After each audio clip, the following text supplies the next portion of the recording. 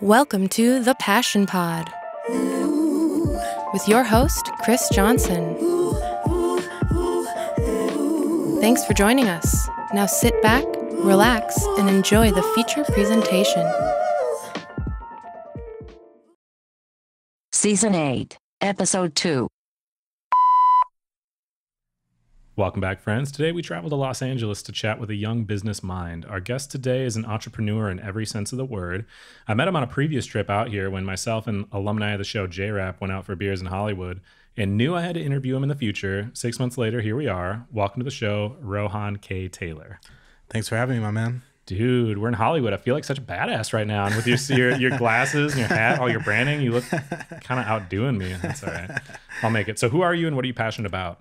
Uh, so my name is Rohan K. Taylor, uh, originally from Texas, and I'm, I guess I'm passionate about clothing, but honestly, uh, probably on like a deeper level, some more so about like, um, I'd say mindset and also just kind of thinking it like, as for, how do I explain? Basically, like a different way of thinking or a new paradigm, a way Sure. of thinking versus to just like clothing, and I kind of like to interpret that, and I like to empower creatives. Basically, make creatives have a way to make their creativity, whatever they're doing, their full time thing. Yeah, dude. Yeah. That's well, and that's exactly what the show is about, really, right? Is to inspire people to think about the things they're passionate about and help them find ways to incorporate those passions into their lives. Theoretically, as a career, ideally, right? Mm. Because that's how you can put the most amount of time into it to gain the most fulfillment. course. Um, so, how can people best follow you, see the things that you make, see your work, and get in contact if they wanted to? Um, best way, honestly, is just through my personal um at Rohan K Taylor. You guys are more than welcome to reach out, shoot me a message whenever. Sometimes I may not see it, but I I, I tend to get back to everyone as long as it's like a quality question, of course. And uh, yeah, Yeah, I mean, if anyone just hits me up and just says, "Hey," I don't, I don't bother with that either. Just because there's so much spam and shit, it's kind of like ask me something legitimate and like totally cool. Like, Yeah. I, I'll, I'll find time when I'm done with whatever. I'm not that incredibly busy of, of a person. Now, if you want to like have a continuous conversation that's not going anywhere, I might cut you off after a minute. Of course, of where course, I'm like, of I don't have limitless time. You course. know, like I, I've had people before be like, "Hey, man, can I call you?" And I'm like, "Well, about what?" Mm-hmm. I just wanted to chat. It's like, no, no, I'm not trying to be a dick. I'm sure you're great, Yeah. but like, what if you have a question? Hit me up. Um, okay, so you said you're from Texas. Where are you from in Texas? uh, originally from the Dallas Fort Worth area. Um, really Fort Worth, Fort Worth slash Keller area. That's where it's classified as. Sure. What kind, how big of a city is that? Honestly, man, I don't know the population off the top, but I knew a lot of the people in my town. Yeah, I, I don't know if it's a small or the same same size, similar to where you're from, but I'd say it's actually a pretty growing. It's a decent city, but I mean, I know basically everyone there. Like when I go home, I go to Walmart and I know I run into someone I know, or like I go somewhere. But it's actually growing a lot, and it's actually every time I go back, I feel like I run into less and less people I know. Maybe because I graduated high school and everybody's in college and people are finishing up college. You know what I mean? But Yeah. um, for the most part, I mean, it's a pretty small town. It's like a suburban town, just a ton of houses, ton of neighborhoods. Um, good area though. Um, everyone was basically middle class. Like it wasn't very. I feel like in LA, it's like you're the really rich, you're in the penthouse, or you're like struggling artists, like in Hollywood or not Hollywood, sorry, like K Town or something like that, or just Yeah. somewhere where you're just trying to like figure it out. It's like very. There's not too many people that are in the median, and people that are in the median, they don't even own a house. But in Texas, if you're just working a job and you have like a career, you can afford a house or like afford to have someone for you. Like all my homies had houses, no matter what their parents did. You know what I mean? Yeah.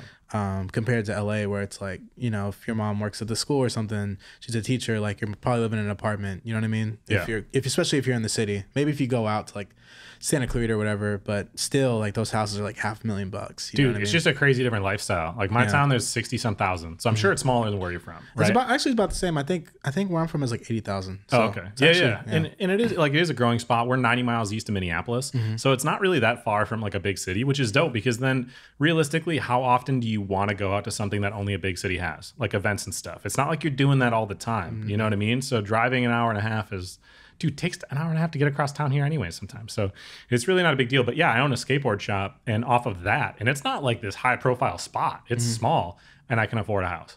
You know, I mean, not like I have a ton of extra income, but you can actually make it happen that way. And I'm like a crazy townie. Like my parents bought a house there. I actually bought the house I grew up in. Wow. Which is kind of crazy. Um, when I got divorced, I bought that house, and it's like the best thing ever. But my parents bought that house when I was two. I'm 31, And I moved around a little bit. I spent a year in Minneapolis area. I spent a year up in Duluth, Minnesota. But otherwise, I've been there. Mm-hmm. So like I really know everyone. And then I opened my shop when I was 23. So seven and a half years ago, I opened a store downtown. I'm involved in a lot of stuff. I'm a city official now. I'm on the Parks and Waterways Commission with my city, so I do shit in that way.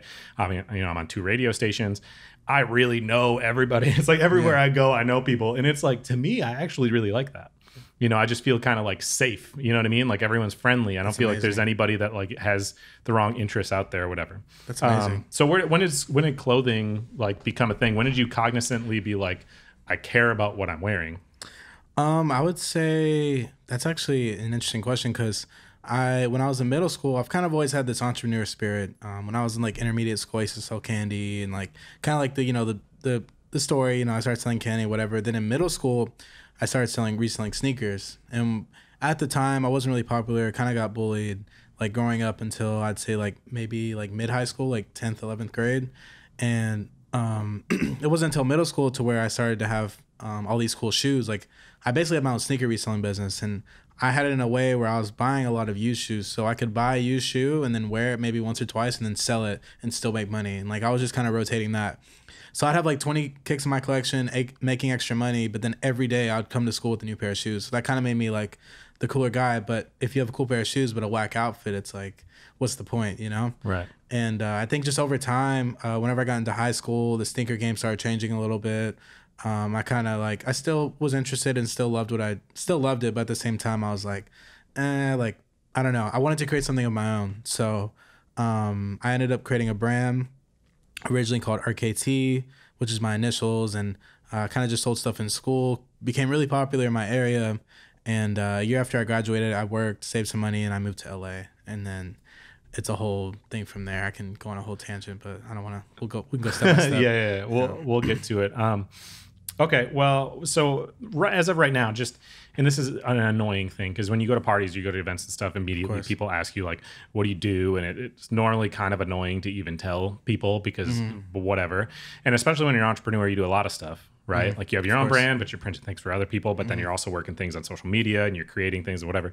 But in general, what currently is kind of encompassed within your career? Um, I would say it's all apparel based. I mean, it's all through clothing.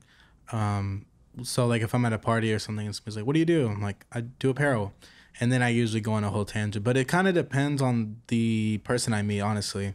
So say if I meet someone who has a clothing brand, I'm like, "Oh, I do manufacturing, I do design, and whatever, whatever."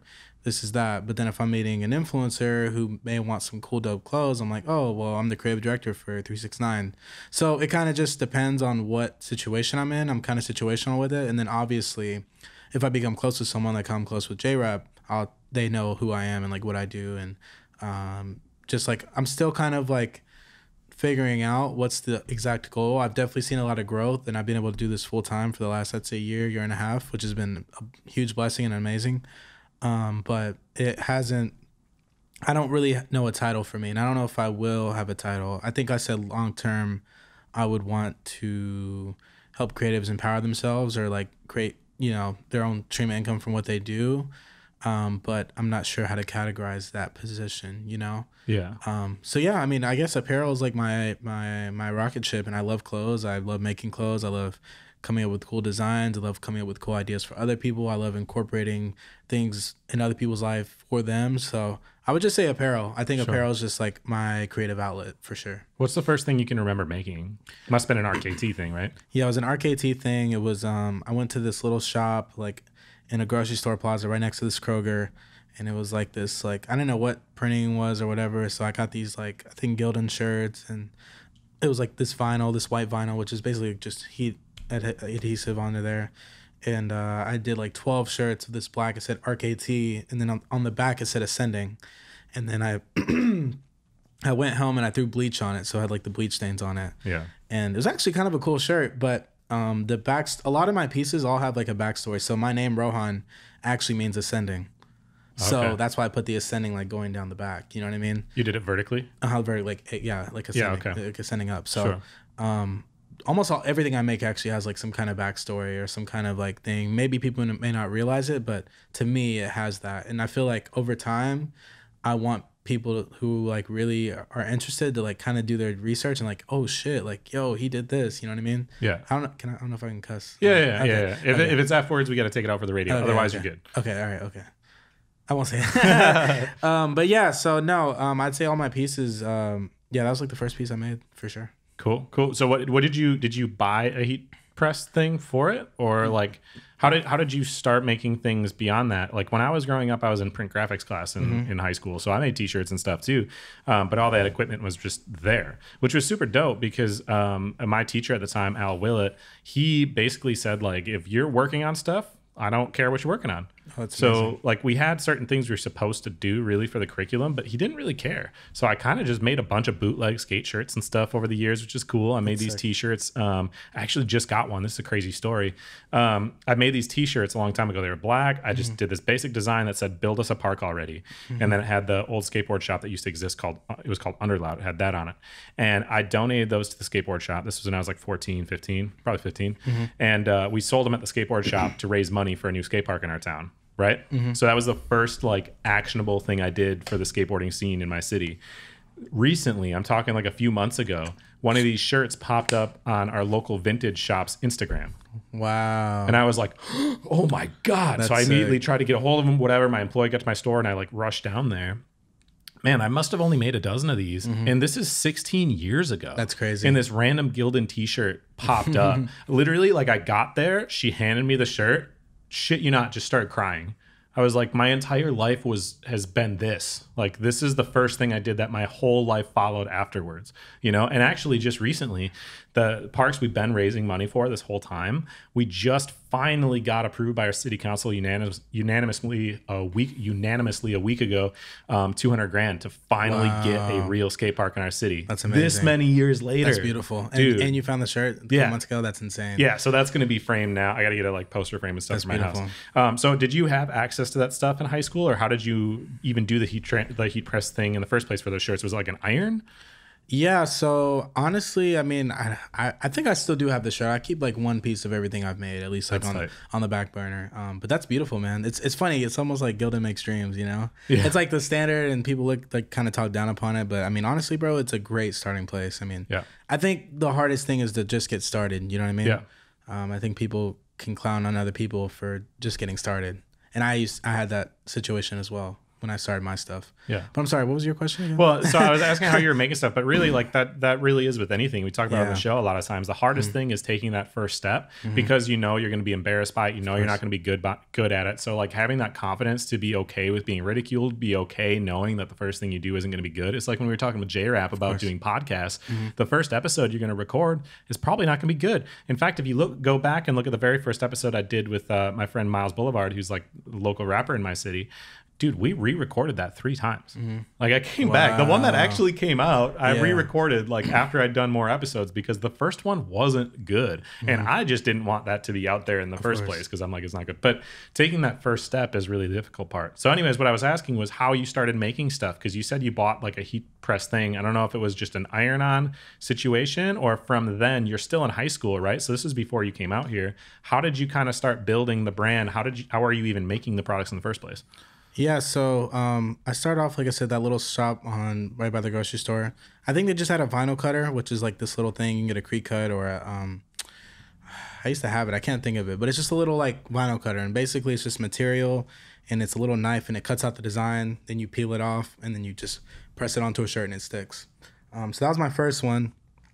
Then my second one, I did a screen print design, and I did it from this uh, one place in in Texas. I forgot what it was called. It was just like some normal screen printing place. I got like I think 24 shirts made, or like I got like half green, half white. I, I remember this. I remember the design, but actually I completely forgot I even got stuff made there. But then at the same time, I became good friends with my. I became good friends with this kid whose dad owned a screen printing company. Oh. So he started making my stuff, and he was like my main guy, and he's the one that kind of even like I finally understood manufacturing after going to him, Yeah. or at least I got a brief understanding because I got to see it being made. I got to see the equipment and stuff like that. So that was an amazing thing. He's a really nice guy. I actually still work with him today. He's a partner for my company now. Funny enough, um, but yeah. So I think that's just how I started. I just kind of I mean, even now, if I like can't do something, I find even if I don't know if there's a way, I'll still say I can do it, and I usually end up making it happen. You know what I mean? Yeah. Were you able to use then like the footwear like thing? You're selling Mm-hmm. shoes. Is that how you kind of made the money in the very first initial couple hundred dollars you needed to make these shirts and stuff? And then you just kind of flip that money back into the business? Is that kind of how it worked? That's exactly what happened. Yeah. So I had that, and then I also, well, when I was like 15 or 16, I worked at Sprouts. I don't know if you know what Sprouts is. No. It's like a Whole Food. It's like a, it's like in between a Whole Foods and a uh, Albertsons. It's like a, a co-op type grocery store. Yeah, it's like a organic but not Yeah. super bougie grocery store. Sure, I like okay. push carts there, and then I worked at Best Buy, and I was like a customer service specialist. Oh, Sure. I was a cashier. Yeah. yeah. So um, I did that, and I just kind of worked into that, and then um, actually after high school, I ended up working at Honda. I did really well there, and and I kind of just kind of do. I- Honestly, I really did never. I always made clothes, but I didn't really take it serious until I think. Not even when I moved out here. I mean, I would kind of make stuff here and there, but it wasn't until I'd say like the last year and a half, two years, where I've really started to take it serious. So you moved out to LA. How old were you? 19? Right. A year after high school? I was 19 when I moved out here. Yeah, Which means you're only like 21. 22. Yeah. Damn. I got almost a decade on you. Okay, cool. so you were working at Honda before you moved out there, selling mm-hmm. cars? Selling cars. Okay, yeah. and then when you moved out here, did you already have? I guess what was the situation? Did you have like a little security net? Did you have a room with some friends and a job lined up, or like what was that situation like? I didn't know anyone here. I knew a, f- a, f- a friend from high school. His dad was in a frat with a guy who lives in LA. And that was the only guy I knew. Cool. And I'm very grateful for him. I love that guy. I actually just saw him for the first time in a long time, uh, maybe two weekends ago. And it was so good seeing him because, like, a lot of things we talked about are like things that he said that, like, we're going to end up happening, like, ended up happening. So Cool. it was great seeing him. Um, Cool. But yeah, I didn't know anybody, man. I didn't know. I just knew that guy. He had kids, but like we didn't really connect. That I mean, we connected. They were similar in age, but we didn't. They weren't like homies, you know. They weren't Sure. friends. yeah. Um, but yeah, I didn't know anyone out here, man. I just moved out here. Um, stayed at a hostel and an Airbnb, which is like a bunk bed thing. But I actually made Yeah. some really cool friends. I'm actually going to Europe um, at the end of the year, and uh, one of my friends is out there from that I met through the hostel. What part of Europe are you going to? Uh, I'm going to Copenhagen and Amsterdam. Cool. And maybe maybe other places too. I'm not really sure yet. I was just in Amsterdam. Really? Yeah, and the guest that I had on earlier today, Salon, she grew up in Amsterdam her whole life, like all the way through college. She's from Amsterdam. I gotta be there then, man. Dude, it's tight. I actually got all, the really brief story is I got stuck there. Mm-hmm. I went to Croatia by myself and got COVID over there. oh shit. and then got stuck. Oh, and no. then when I finally got, so I had to quarantine over there with the Red Cross. And then when I finally got the okay to go, my connecting flight was in Amsterdam, and they wouldn't let me get on my connecting flight. wow. So I got stuck in Amsterdam for an extra day, which was fine. I had a Yeah, good yeah, of course, you know, of I had a full 24 hours, so I went out and like drank and it had yeah had my fun and stuff in Amsterdam. So so yeah, so that's Yeah, tight. I actually sick. stayed too in in. Uh, I was looking for a cheap place to stay, so it's expensive to stay out here, and Mm-hmm. and that's why like I have a Patreon and stuff for my show. It's like people, I do have that conversation with people once in a while where people are like, "Oh, what do you mean? Like I thought you do it for the you know because you're Mm-hmm. passionate about it." I'm like, "Well, I I am passionate about it, but it is very expensive of course. Mm-hmm. to create, and you're very familiar with that as well. Yep. Like there has to be some money running through. I just had that conversation with a friend who, yeah, I'll, we'll talk about that later. Yeah, it's it, it, it's it's just unfortunate, but I mean it's all part of it, right? So so anyways, I was out here on my last trip, um, and I had nowhere to stay Mm-hmm. for the last couple of days of it. Um, so anyways, I ended up getting a pod. Like by the airport, Oh, like I had to sleep sick, in like sick, a little bunk thing or whatever. It wasn't. It really wasn't that bad. Yeah. Um, but it, that was the first time I ever had like that kind of experience. So so you moved out here. Did you just find that on like good old Craigslist or Airbnb? You said. I Airbnb the hostel, yeah. How and much was that? Uh, Do you remember? maybe like 400 bucks a month. It was pretty cheap. oh, that is cheap for out Yeah. here. It Okay. it was a hostel though. Yeah, It was yeah, a shared sure. room with Yeah. one, two, three, four other people. It was two bunk beds, and I shared a bathroom, and I had like a little, excuse me, a little locker. yeah. I mean, I had a kitchen. It was a cool place, and the people who lived there yeah. were cool. I actually ran into someone who lived there like, um, like a, like maybe like two months ago. Cool. Cool. Cool. Um, they were just like in downtown, just walking. I was like, "What?" And Did they- you- like we like kind of pointed at each other, like, "Is that you?" so did you did you come here with like a thousand dollars or something? Like what did, did you have some Um, kind of I- cushion to have time to find a job? Yeah, I had a little bit of money saved up. Um, I had a couple grand saved up just to make sure. Um, I didn't really work my first couple months out here. Kind of was just getting acquainted to the city. Um, but then when I ended up getting a roommate and I was paying like a thousand bucks a month, I, I ended up having to work again. So I went and started working at Honda and um, I started working at Honda again. And I was selling cars, hated it. But then I went to another dealership, which was nicer and cooler, and it paid a little bit more. But um, at the end of the day, I was working a shit ton, and I wasn't um, getting anything. I wasn't moving forward in the brand. I was just working and living out here. I had my own place and all that. I've been able to transition to that, but I was like, I'm just going home and sleeping and working. Like, and I'm paying a crazy amount for rent. I could have did this in Texas, and I was making more money in Texas actually at the Honda. So, um, so yeah, I was doing that on and off, and then, um, I just honestly did that for on and off, and I, I mean, I could talk forever about my. I've had a crazy LA experience, but it's been very grateful, and I've learned a lot. But I mean, I've like not worked for a minute, and then I worked, and then not worked, and this and that. And it wasn't until I'd say like COVID hit, and then I kind of got let go for a little bit. That I started really tap in with it myself, and I mean, I can't really get distracted by the parties and stuff because everything was closed, you know. So uh, I started locking on my business and saw exponential growth, and um, it's been a blessing. And I've been able to really achieve all the things that I've like set for myself for moving out here. So now I'm at a point right now in my life where I'm like, okay, well, I got the car, I got the the dope place, whatever, whatever. I, you know, my business doing this a month or whatever now what's next you know? Sure. and like are those the things that are important? Is that where i want to stop? Or like what is the next thing? And i'm and i'm in that space right now. Yeah. and i think i'm getting closer to figuring that out every day but it's uh, definitely something that is on my mental every day. But then there's times where i like to disconnect and and just kind of not think about it and let things in my life happen to go towards that route you know Yeah, it's it's hard for me anyways. I don't know if you feel the same way. It's hard for me if I don't feel like I'm working towards something. And that's getting back to what you're ta talking about with working at um, at Honda, you know, it's like uh, I've- so put it this way, my last job I had was working for Verizon and I it's it actually was really easy and I got paid too much money really, but it I felt like I was making the world worse mm-hmm. and I certainly wasn't building anything for myself. It it simply was a paycheck, which is okay, you know, but that's all it was, right? And then I worked, you know, opened my store when I was 23. Was doing that for a long time. My shop hit 5 years old and I was like, "Okay, what's next? What's Yeah. next? What's next? Got to find something." So I ended up getting just part-time one day a week. I was like, "This will be fun." I got a bartending job, right? Sick. And it was actually tight because it was one day a week. My friends would always show up. I made good money, but what I found was the money was irrelevant to me. Mm-hmm. It was like this isn't building upon anything. And mm-hmm. uh, talking about like a personal brand or something, I'm mm-hmm. like, I'm not actually building towards anything at all outside of mm-hmm. making money. This is I just don't like it. And that's when I discovered the show, which the show is kind of like all attached to my brand, to my store, to my art. It's like all kind of, you know, the same thing. So I was able to build it up. So you're doing the Honda thing. You must have been still selling. Did you were you selling any clothing out here when you moved out? Yeah i tried i mean i had a website and stuff Was that still the RKT? Yeah, the RKT. Okay. Um, I didn't rebrand until I'd say COVID. I think I like reevaluated a lot. So what happened? You got laid off. Did you get the unemployment? So you at least had like a little bit of a net there while you like sat and kind of like made a new outline of this is where we're going. Yeah, so it was like a weird thing. So it was basically like we weren't let go, but like everything was closed in California, like closed, closed in Yeah. California. So um, everything was like closed. So I didn't really get let go. It was just I was on pause, and I think I, I'm pretty. Yeah, I was getting paid. I think we were all getting paid on unemployment, but we weren't fired. You know, We Yeah. just the dealership just wasn't open. You know. Yeah. Um, and then we started going back, but then we were still. I was going to work, but I was working barely. But I was still getting paid like it was unemployed. Or it was something weird. Honestly, I don't remember. Yeah. I know I was still being able to pay my bills and stuff, so that was okay.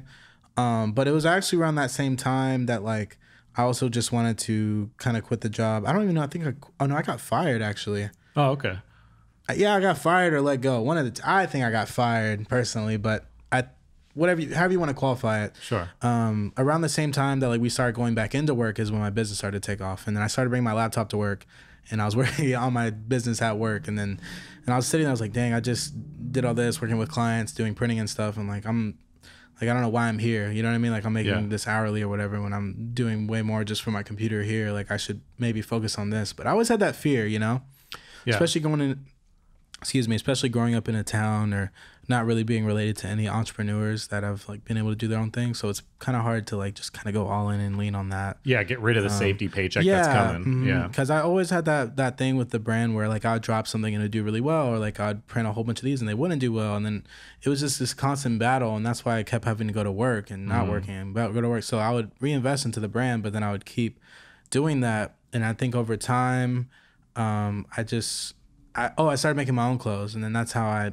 ended up starting a printing company called Start Printing LA, and I was like, wait, if I'm making X amount amount for myself why can't I do this for other clothing companies? You know what I mean? Yeah. So I literally, I'll, I'll tell you guys a straight up hack. I literally went to, shout out to Avant Space, by the way. That's, I actually met him, the owner of that. He's really Sure. cool. He lives in Utah. I think we were talking about him. But yeah, Yep. um, I met him. But anyways, that was kind of full circle. But he basically posts like all these streetwear co- uh, companies and he has an app where you can go to like, like a map, but it has like little pins of all the clothing brands that are on his app. And I literally went on the app and I clicked on all the clothing brands in LA and in like San Diego and like anywhere near LA, the Valley. And I literally just DM'd him, hey, da da da da, we offer these services, da da da da da. And I actually reached out to uh, like YouTubers and stuff like that, and even some pretty big ones. Some like gave me a chance, let me do a couple pieces for them, and then that relationship obviously got stronger. And I would do things for them that other companies couldn't do. And then they were like, okay, well maybe we'll let you do this next big thing. And so it just kind of kept leading on and building up upon that. And uh, yeah, I started started the printing company around the same time I got let go. So it was kind of like it was kind of very transitional in a way. Yeah. Um, but COVID was still going on, so everything was still closed. And uh, yeah, then that and uh, just being in COVID and thinking the world's gonna end and all this Yeah. stuff and all this crazy stuff happening with myself, like introspectively and stuff. I um, decided to like kind of like I don't know if I really had a I guess I kind of had an ego death in a way, but more so like with the brand, I was like, this was a great start. It was like my baby, you know. But I need to I need to review things and and go in a different direction. Sure. And we'll get to that. How did you get to um, printing people's stuff? Did you buy a screen printing like four-head press thing? Did you buy sublimation? Like what it, how did you build up to be even in a position to make the merchandise for people? So I bought a heat press from Amazon and I had a vinyl cutter. I don't know why I don't know the name. It, it was like a Cricut. It's like this little vinyl cutter port. It's like a hundred bucks. Yeah. And basically, I had that, and my vinyl cutter broke. And I called the place that I went to go get vinyl from. I said, "Hey, my vinyl cutter broke. Do you guys know anyone? Because they have a lot of small business owners that come in there all the time. Do you know anyone that can help me cut vinyl?" They're like, "Oh, this guy Coy, um, he can help you uh, cut this vinyl."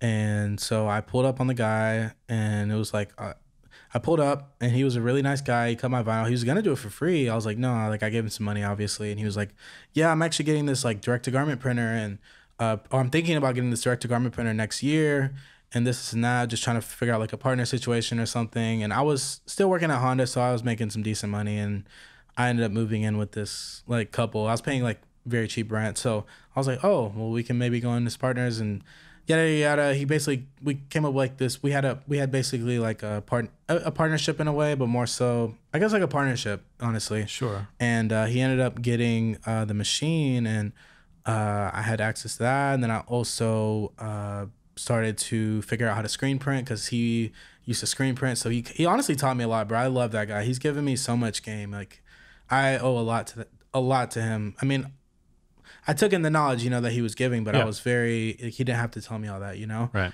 and uh, he taught me basically how to do all the printing, like all the different printing strategies. I would just ask questions. I would watch YouTube videos. Um, but since I had access, or I was a partner with him on that DTG, um, I was able to do like basically any job, and I would do sample work and small stuff just to get like the attention of people, or like just show them like, hey, I could do this real quick. I could hop off of work at five o'clock, run to the shop, go print this, drive it all the way, to, drive it to Hollywood, West Hollywood, the Valley, Calabasas, wherever you need me to go. Like I'll do it, and I'll do it for either cheap or like damn near free if it's like a cool, um, like if I if I see the relationship developing. So, um, I was just really hungry, man, and even if I didn't have access to the materials or to do it or to manufacture it, um, I found a way, and I just found the way just from asking people. So if Yeah. so if like that I quit, didn't know anybody, I would just go to like the place I get my, my materials from. Hey, do you know anybody that could do this or this and that? And I've been able to develop a whole network and partnership literally just from asking. And Yeah. like a lot of things that I've done and like these projects I've gotten for like TV shows or like these last minute things where these big companies can't do it, but I can, is just from me saying I can do it and then finding a way to do it. So Yeah. I, I may not know the way or know how, but I, if, as long as I know the method and what needs to be done, I can find the way to do it. Yeah, I mean that's problem solving. When you own a business, you're gonna have problems pop up all the time. You know, through my skateboard shop and stuff, that happens too. You don't have a boss, you don't have a mm-hmm. direct, dir- you know district manager to call up and say, "Hey, I got this problem. I got blah." You just have to figure it out. Mm-hmm. You know, so you develop that mentality. And I would say you'd be surprised. Well, I shouldn't. You wouldn't be surprised because you know this, but most people would be surprised if you actually work hard and mm-hmm. you are actually trying to do something cool and you have the right attitude people will help you Of course. pretty often Yeah, people that you wouldn't course. think even when they have nothing to really gain Of course. people want to help people who are like working hard like it course. Mm-hmm. happens all the time it happens with the show right where it's like i'm genuinely really trying to create something really cool the message is cool i've had people that i don't really have much business interviewing Mm-hmm. at least earlier on especially that like were way bigger than i would otherwise interview you would think and they're like oh no i just like what you're doing this is cool like no problem. Tight Mm-hmm. you know? And that's it is being willing to like be modest enough humble enough to be like okay well i don't know how to do this yet but i'm gonna figure it out. Mm-hmm. i need help though. Is anyone willing to help? And people are going to be willing to help. You mentioned you've been able to do some really cool projects. I'm just interested what are a couple of the cool like looking back what are some of your favorite projects that you've gotten to do whether it was like for a tv show or something? Um, so yeah, I got the opportunity to do um this thing for you know David Dobrik, the YouTuber. Mm-hmm. Yeah, I did. Um, he had this Dodgeball Thunderdome TV show, and I got this really big job to do that, which was really sick. Um, I also was able to meet with um, Travis Scott's um, not designer. I'm sorry, stylist. Uh, his stylist, and I did some stuff for Cacti, which was really really cool. And then I also did through that connection as well. He has this upcoming album called Utopia. And I did this shirt like maybe like a year back, and then uh, in Rolling Loud a couple years ago, or not even sorry, not a couple years, like maybe maybe like six months ago, whatever Rolling Loud Miami was, they like turned into like that Kanye mask, you know what I mean? And uh, he wore it on stage, so that was really cool. Um, yeah, I've been able to work with like a whole bunch of cool companies and people that like I looked up to, and just kind of just doing stuff like that. Some cool streetwear brands. Um, but I'd say like the coolest thing for sure is working for Travis. Like I love Travis. I've, I mean, I know this all this whatever stuff is happening, and it's very unfortunate, but I'm not a big fan of like the whole cancel culture thing. And at the end of the day, I mean, that could be a whole nother conversation. Sure. It was more so the event and like how they handled it and how it was set up. I mean, I don't, I don't know if he should take the whole pitfall because I've been to a Travis concert and I know how he is and. I don't know. It was, it was it was just a crazy situation. Obviously, there's mixed opinions on it. But in, if I'm being completely transparent, it's like, in my honest opinion, it's like he's an artist, and of course he's gonna take the fall and the blame. But it's really he's just the name on the on the Yeah. event. The event should have been put together better. It was put together super last minute. The lineup was like literally sent out like a week before. Like it just wasn't planned well, and obviously it's very very unfortunate. It's very Yeah. sad. Um, Yeah. but yeah, it's it's uh, that's a whole nother conversation. Well, there's, I mean, there's Yeah. two sides to, to every story, and realistically, and I don't really know that much about it. I've seen the little news stories. News stories are always trying to point fingers at somebody, Yeah. but you're right. He was hired, or his his job was to perform. His job was not security. Mm-hmm. His job was, job was not to control the crowd. His job was to get people excited to watch the show. Everything else that was happening, there were a lot of people involved. Of Mm-hmm. course. those people collectively they, it didn't get the job done and that's what happened. But it wasn't i mean come on now. It's not you're it's hard to put all the blame on an artist because he got people too excited Yeah. you know? And and again that may that may piss some people off and i can't say i really know what's going on. But but course, all i'm course. saying is i agree with you that like look there's a lot more people than one person involved and if he was aware in the moment that people were literally dying Yeah. there's no way that he would have then acted the way that he did people- it just yeah, because people pass out at I've been to multiple Right. Coachella. I've been to all these festivals, and like Yeah. people pass out all the time. That doesn't mean they're dead. I mean, obviously people do pass away, unfortunately, but it's like just from maybe drugs or whatever. But it's Sure. like like when you see someone passed out, like I don't know. It's a whole nother conversation. yeah, like and again, but it's yeah. that, there's security and there's other people within of the course. event organizing that. Yeah. Those responsibilities are really supposed to be on those people's shoulders. Except those people aren't the name anyone would care to see in a headline, so they're I not the people talked about. Anyways, It's a crazy world. Yeah. So sorry, you yeah. Mm-hmm. let's get back to you were doing RKT. At some point you had a ego death with the brand anyways where you saw, okay, well this brand did what I wanted it to do, right? Mm-hmm. It helped grow. This was where I started, so I have this like attachment to it emotionally. It got to help me grow through my own career to a certain And then you changed it, right? It's a whole new brand now. Do you want to talk about 369? Yeah, so um yeah, I mean I kind of just went through some things internally, understanding things about myself, figuring out why I was making clothing, the type of designs, the pricing I was doing, everything and I just wanted to see what more aligned with like what I wanted in the future, you know, and it just didn't seem like it aligned. So um I kind of killed off the brand and I just kind of just started talking with friends and uh, I just realized I was doing RKT all by myself, and now with 369, I've developed a team, which has been amazing. And so now that I've been able to take kind of like the foundations of RKT and turn into 369 and that in itself 369 has like a lot of correlation to me as well like i was born on june 3rd 99 and like 369 I've always been like this thing and like I've had this necklace, this Om necklace that's on my sunglasses and stuff. Um I've had this chain since I was literally born. Like my grandparents gifted it to me. And the Om is like apparently the first sound in the universe and like uh, the Om is actually like a variation of a 369 like our logo literally is a 369 which looks like the Om symbol. And there's just a lot of like things. Honestly i don't i'm not super knowledgeable but there's a lot of uh, synchronicities and similarities with that. So i kind of just use that to develop 369 and even to this day we're still developing and i may even develop 369 into something else i have no idea but at this point in my life right now that's what i feel most aligned to and that's what i feel mo- most that like I want to bring that message or these because to me these numbers are good things. Like it's a good thing. It's not a bad, no negative connotation.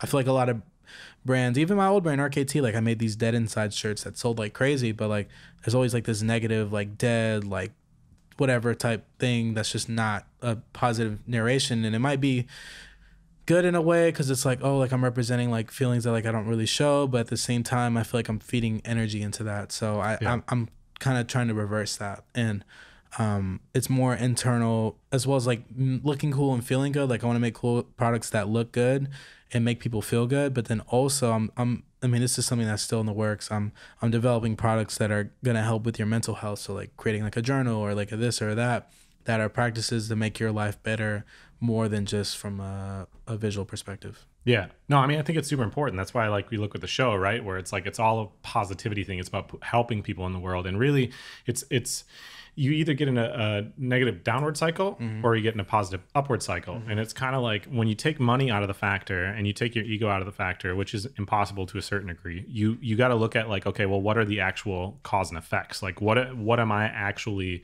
affecting? If I died tomorrow, what's the legacy I'm leaving behind? Is it helping people? Is it making the world better or is it making the world worse? And I wish that was a conversation that we had with kids even through schooling of like, this is something you should really think about because it's going to matter to you personally. Um, I'm, I'm curious at this point. Uh, well, for one, how old is 369? How long ago was it that you started that? honestly man i have to look at the instagram i think it was at the end of last year though wait when did covid hit when did things shut down March of 2020. Okay, maybe it was like oh maybe it was a little bit later i think it was actually december 2020 so almost a year Gotcha. How When many, uh-huh okay how many people are involved? You said you got like a team, right? Approximately how many people are helping out with the process? like six And what what's your kind of role with it? Is creative, it creative direction manufacturing oh, okay? Are you doing the design work as well? uh yeah but that i mm, to an extent Some of it. I'm very good at conceptual like conce- conceptualizing a lot, but when it comes to actually putting to the graphics together, I have a pretty good understanding. But if I have a designer kind of just give me the assets, I can put it together really well. Sure. Um, yeah. I mean, I gotta get. That's one thing I wish I could get better at because, like, I do have my own branding, right? Mm-hmm. Because I got my own store, so I have passion branded merch. Um, but I struggle a little bit with that. Like, my artwork, I don't think translates into like a brand that well. I don't know. Mm-hmm. Uh, that's like a whole nother thing I'm trying to work on. But so you got six people working on that. How much, if you had to guess like a percentage, just throw it out there, how much of your income or how much of your business is coming from outside, like manufacturing other people's stuff or working for other people, and how much of it is coming from 369? It varies every month. Sure, sure. I feel like I'm like my income kind of stays the same, like the range, but um, but like it'll be like maybe like sixty percent printing, forty percent brand. Sometimes it'll be seventy percent printing, thirty percent brand. Sometimes it'll be ninety percent printing, ten percent brand. Other times it'll be ninety percent brand, ten percent printing, and I'm like kind of in this whole thing where I'm like going back and forth. Um, so I need to honestly get a little bit better at that. I'm setting goals for the printing company and for the brand, but ideally, uh, seventy percent printing, thirty percent brand. Because Sure. the printing company is like I'm doing these big bulk jobs. You know what I mean? So um, it, I think it's easier to scale a little bit. Because if I land maybe two or three bigger clients on that end, I'm it, it can double my revenue. for Sure. a month. You know. So. Are- you hiring people to do most of that legwork itself, and you're just trying to secure the contracts? Yep, exactly. So now I've gotten to a point where I was doing a lot of the manufacturing myself, staying the late nights, going to work, wearing my work shirts to to there, sweating my eyes off, then going. Sorry, I, I'm cons- conscious all about the yeah. Um, and then I would uh go like go to work, get off work, go to work, maybe pull an all nighter, wear the same clothes, maybe get time to go home and like take a quick ha- quick shower, Yeah. and then and then um, go back to it. But now I've found good people who can do my manufacturing, and I've taught and trained, and um, and then I've like really shown like my ways, and so it's uh, as far as manufacturing goes, I'm kind of hands off now. I, I I've shown and I've had staff who've made enough mistakes to where like uh, they're pretty solid, and I I can put my my faith in them as far as like actually doing the labor. dude it's hard to do i mean it's Yeah. Taken me it's taken me all the way up until now to have an employee that is like very consistently running my store for me he's there more than i am Mm-hmm. Yeah. Mm-hmm. uh, my friend mikey selski he's basically my general manager i mean i've gone in this last year not including these last couple of trips um, a few months ago it had been like one calendar year I took 15 trips of a week or longer, one being three weeks, one being over a month. Wow. Or like, dude, I was not at my store very much Yeah, for yeah. a solid year, which there was a lot of things going on. I went course. Mm-hmm. like I got divorced and I, I was trying to kind of spend a little bit more time, very like purposefully spending time out by myself, going Mm-hmm. camping and doing different things kind of figure out where I wanted to go with with whatever. But I was hardly around, and the only reason I was able to do that was because I finally found somebody that was like consistently, Mm. you're gonna be here for a long time. I can trust you with everything. Yeah. That's really hard to do. So I'm like, I'm just like, That's I'm just praying that Yeah. Mikey sticks around forever. So like, Yeah. hopefully that works out the That's way. That's amazing. That's that. Yeah. Remember Ethan you just met? The Yeah, yeah, came- He's like my right hand man. I love that kid. Was- and he's so young too, man. He's like 18, 19. He's gonna be.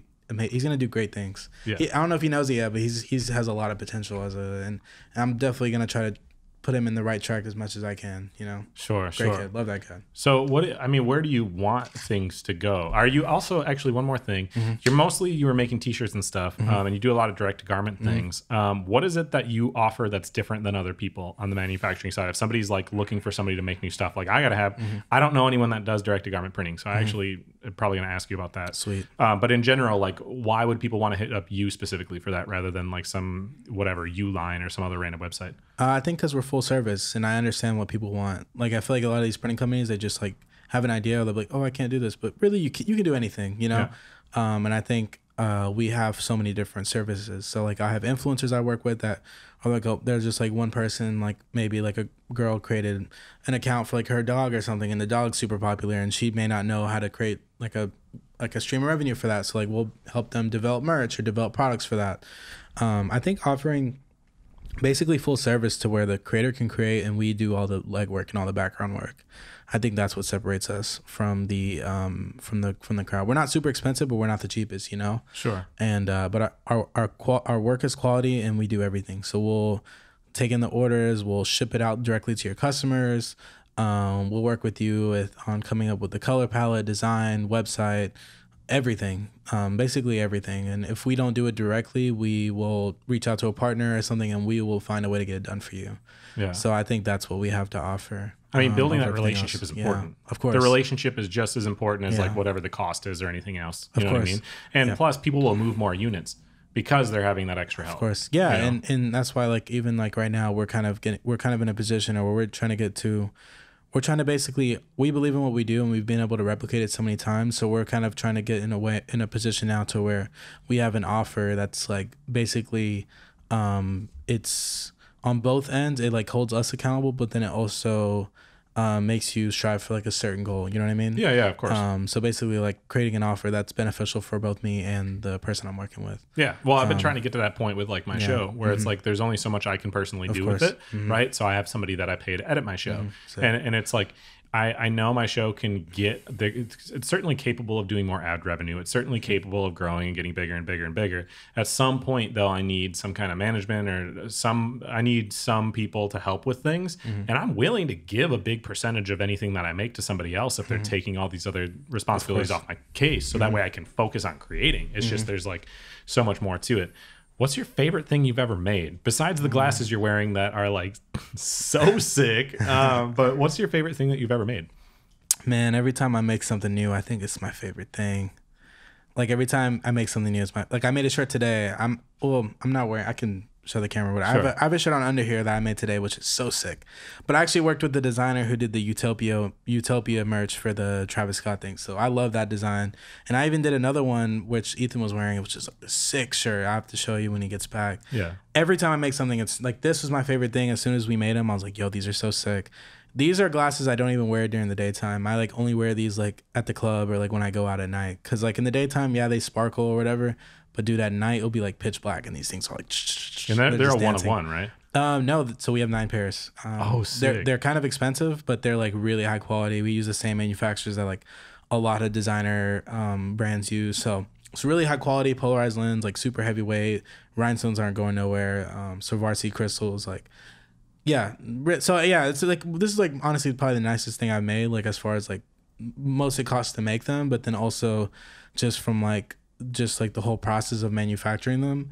Um, but I mean, honestly, bro, every time I make a product, it's like my new favorite thing. Yeah. Um, depending on, I mean, obviously, sometimes I make some things I'm like, eh, but then like, there's some things I make and I'm like, yo, that's a sick idea. Like, I'll have a vision, and then when I see it come to life and it looks like how I envisioned it, it's like, okay, that that's amazing. Dude, that happens with my paintings all the time too. Yeah. It's like every the next thing I paint, I'm like, oh my god, this thing's so sick. You know Mm-hmm. what I mean? Or like, honestly, I was with the show too. It's like, what's your favorite episode? Uh, Whatever was the most recent one, then I'm like, that Yeah. one was so good. So Mm-hmm. like, I, I feel you there. Um, okay, so the direction of where things are going. So say three three months, six months, a year, whatever. What do you what do you like? What are your goals? What are you like hoping to accomplish? Where where's your life trying? What do you want your life to look like? So I'm not a big money. I mean, I kind of am a money guy, but not really. Like I've kind of gotten in a position to where, like, I really wanted like a Tesla. Like I, I've actually done podcasts before, and then that, it's funny. I did a podcast maybe like two years ago, and I talked to this girl, and I was like, yeah, it'd be cool if I just had this and that. And I literally have those things. You know what I mean? Yeah. And it's a, it's an amazing thing to see. It's like, yo, that's sick. Um, and I think anybody can do that. But um, what was the question again? So What, what do you want your life to look like in six months? What are you hoping so do? this is actually the question that I was asked. Um, back. Sorry, that's why I brought it up because I was asked that question. Like, what do you what do you your life to be two, three years or whatever? And I, it's happened. So it's a beautiful thing. So I'm gonna go ahead and try to affirm it again. um, I'd say in the next three months, um, just have my company a little bit more operational. I have some positions that I want to fulfill as far as like I'd say getting clients like inbound and outbound and stuff like that. Um, optimizing the flow um, and then also for the clothing, making cooler products, making products like the sunglasses, making products like cool pants, shirts, shoes, things, products that make people look and feel good.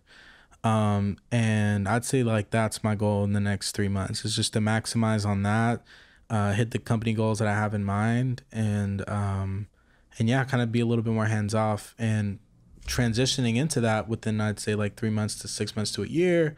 I really want to kind of reduce, you know, whatever I'm spending here, like personally, like as far as LA, like rent, all this, this, and that.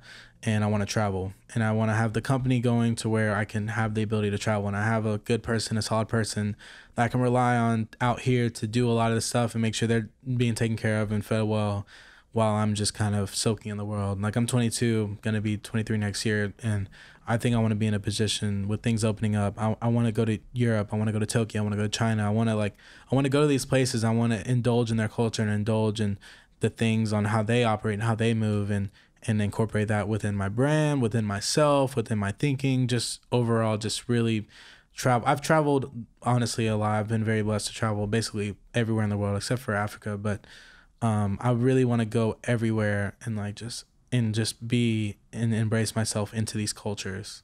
And uh, I'd say like that's my goal for the next couple years is to be able to travel, not thinking about money, just have my solid roots in in LA or yeah, honestly was probably in LA. Just have solid roots in LA. Maybe have like a home base in LA. Um, have my company being run, just things going well. Just I'm kind of more hands off, making sure my mom, dad taken care of, you know, whatever. Um, but yeah, I'd say that that's my goal for the next couple of years. And then after that, probably coming back or, I mean, dude, I'm gonna be traveling the world. I might like somewhere else a little bit more, you know. Yeah. Um, settle down wherever I settle down, and um, probably just focus, just enjoy life a little bit. Um, whether that's building a family or whatever I see see to be, but um, really just being um, just being able to do whatever I want to do. I think is what my next goal is, and I think creating and honestly probably once I've done those things, I'm gonna want to pass on that information and that knowledge. And Yeah. so whether if that's creating like I have a YouTube channel that has like a decent amount of viewers, whatever, but whether if that's like diving into YouTube, writing books, creating program, whatever it is, working with governments, reforming education, whatever it, it, it may be, um, I think my goal after I get a lot of that out my system is for like I'd say figuring out as, as soon as I get like the foundations down and I've traveled and I've done all that, I think trying to impact the world and the greater consciousness of like society and people would be my next goal. And whether if that risks me putting myself in a position to where I'm like not you know what I mean, where I can just say things that may be so out of the box that people may look at it as weird or something. I think that um, I'm willing to do that to at least get people to think a certain think different, you know. Yeah. And uh, at least putting the thought into someone's head, I think is is um, is my is my I think it's my life purpose, man. Honestly, um, at the end of the day, I think I think there's a lot of people out there with a lot of potential, and I've seen it go to waste, and and that's like one of the hardest things that I've been able to that I've seen as like growing up with kids that have so much potential and seeing that go to waste and just seeing that just kind of dissipate or disappear. Um, it's it's heartbreaking, man. And honestly, man, if I'm being completely transparent, like I don't even I love to go home to see my mom, but like it's very sad to like see some people that like I grew up with that I know have amazing capabilities and potentials and not seeing them live up to that and like trying to talk to them and saying like they're saying all this and that, but I'm like, bro, like you could literally do that. Like I know you, like I grew up with you, like I've been around you and uh, I think just helping people realize what they have within them and helping them take the steps to bring that into fruition. And I'm still in the process of figuring that out, but as I figure those things out, I definitely want to spread that, especially to the people I love. Yeah. And uh, I, I've definitely I grew up an only child. I, I've I've been alone a lot of my life, and I feel like I've learned a lot, and I've dealt with a lot, and I've dealt with people just talk, I mean, I've had good experiences with people. I've had a lot of love in my life, but I've also had people try to really bring me down and really make me either feel a certain way or seem a certain way when I'm really not. And I've had to learn to deal with that and not take it personal and just use that as not really fuel, but just kind yeah, I guess fuel in a way. Um, but but not really giving them that energy at the same time. So Yeah. I know that's a lot. No, no, I'm, yeah, Yeah, I feel you. I mean, yeah. there's a, there's a few things there, right? Number one, we talked about it earlier. Mm-hmm. It's about getting people to do that first step because you get that momentum moving, Mm-hmm. and then their potential can be realized. The problem is, is they're standing their own way because Mm-hmm. they're nervous about it. They can't take that first step. So the show is definitely the way that I'm attempting to do that in that kind of way. And I think the way you were talking about, um, you know, what you're trying to do, I kind of have my own way of saying it. That's relatively brief. People ask me, "What are your goals?" Because I've been getting interviewed a lot around my hometown for some stuff, and my my answer is, I want to be financially free to create. Mm-hmm. That's it. Mm-hmm. I just don't want limitations in my way. Of course. I want to be able to create whatever I want to create, whether it's more episodes of the show, whether it's you know you know apparel things, or if I want to do YouTube or something or whatever. I just don't want money to be what's dictating the things that I do, and it, and it's slowly not you know being an issue for me, thankfully. So everything's kind of moving in the right direction. I'm a bit older than you. Um, I'm established in my own kind of rights, doing my own kind of thing, um, but I am getting to the point where I can create a little bit more freely. I have I have different str- you know streams of revenue. I make money off my artwork. I make money off the show, off my shop, so I can kind of spend my time doing it how I want to do it. And my goal is my kids are five and eight. I'll be 45 when they graduate and they move out. My goal is to semi-retire at 45 and then just like chill. You know what I mean? Which I, I know myself, business mind, I'll always want to be involved in stuff, but I'm hoping at that point I can be totally hands off um, and just, you know, paint and, and kind of do whatever. We're getting towards the end of the show. There's always two questions. I know we've been going for a little bit, but I just, I really want to know because I'm sure you have some really cool stories and like it's my favorite thing to ask. What is a story that you can tell us something about something that you're really grateful for, some experience that you had, um, but it only happened because you chose this path? That's such a tough question, man. I've had so many things in my life to where I've been so grateful. And it's actually crazy because some of the most, some of the, the things that have happened in my life that at the time seemed like the most terrible thing and like world shaking things have actually been some of the most beautiful things that have happened that have made me realize a lot of beautiful things internally, you know?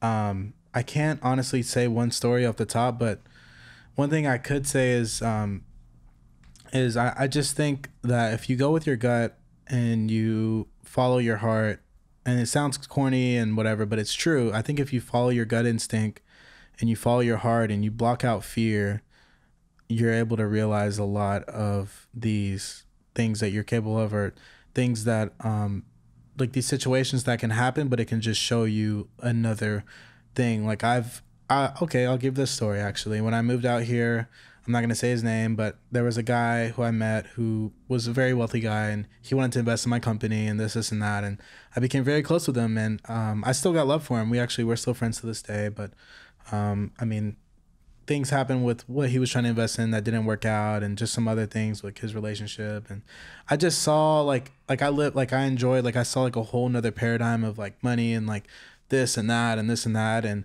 it was beautiful it was awesome. It, it opened my mind to like that's that's like that's a thing like these Sprinter vans with like this and that and like clubs and this like these are real things you know? So it opened my paradigm to that but then it also showed me that like if i get these things like how like i could be like that and i could be in these positions where i could start doing this or that that's just not a good thing you know what i mean? Mm-hmm. um that could you know make me you know whatever you know what i mean? Just not a good person not going down the right path because i'm so indulged in uh money and this and that and this and that materialistic things or ex- you know what i mean just Gave like you a perspective on all. it gave me a great perspective and especially seeing him and how I know he's a great person. Like he has a great heart. He's an amazing guy. And I think I have a decent heart. Like I knew he cares about people and I know I care about people. And I could see how that could, ha- like I could see a lot of myself in him and seeing that happen and seeing how that kind of played out. And obviously he's okay now, thankfully. Um, seeing how that played out and he's actually on this come up. He's, he's getting back to who he is and Sure. hopefully he continues to go down the good path that he's been kind of going on. But, um, seeing that firsthand was definitely, um, something that was I'm I'm very grateful for. Is just seeing those experiences and seeing how he operated, and, and it kind of showed me a way that it kind of just told me like, yo, like, mm, where are your values aligned? Is it aligned with this flashy lifestyle, whatever, where you're spending all this money and then maybe making it back because you have a good month in business or whatever, or is it like, or is it within something else? You know? I mean, it comes back to when you're talking about traveling, right? It's when you Mm-hmm. see and you experience other cultures, but it's when you see other people's Mm-hmm. lifestyles or anything. When you can see that t- type of thing firsthand, that really helps you gain a perspective with you in your own life, and then Mm-hmm. it allows you to kind of self-reflect and go, okay, well, this that that thing didn't make this person happy. Mm-hmm. That didn't actually help them get towards this. That thing affected them in this way. Mm-hmm. When you can see it firsthand, it really is beneficial. Uh, really is beneficial to you. Um, really we're at the end of the show. I think that was a great lesson to kind of leave on. How can people best support you moving forward? Now that they've listened to the show obviously they're like gonna go check out your profile and stuff but in general like people want to help you get to this next level of your life. How can people best support you? Um, so I mean, you can get me on Instagram at Rohan K Taylor, or um, my brand is at three six nine Los Angeles. And then if you want to need anything printed anywhere in the world, um, it's Star Printing LA, at Star Printing LA, and you can just DM us on all those. I mean, there's forms and stuff you can type in as well, but honestly, Instagram's probably the easiest way just Sure. to reach out directly. Yeah, Instagram's the easiest way for me to Passion Pod, um, and for us for the show, sharing the show. You know, Patreon. There is a Patreon for the show. If you just go passionpod.org, you can find merchandise and all kinds of stuff that clearly you know we have to work on. And I didn't mean to cut you off. What, what were you gonna say? I don't think I was gonna say Oh, anything. okay, my bad. um, but yeah, I mean, the easiest way, really, like there, there's financial. Obviously, money is a very, very helpful tool. It's not the only tool to get to success to the the things that you're trying to achieve, but it is a helpful one. So, purchasing merchandise off my website, purchasing merchandise off yours, um, but otherwise, you can just subscribe to the things that we do. Like that's always helpful. Sharing stuff. If you know somebody that may benefit from this episode of the show, or if you know somebody that has a business or someone who's trying to get something off the ground, where they're like they got these designs they want printed. They can hit you up that way. I mean, there's a lot of ways to kind of support things. Thank you for joining us for this episode of The Passion Pod. We hope you enjoyed it as much as we did. We'll see you soon.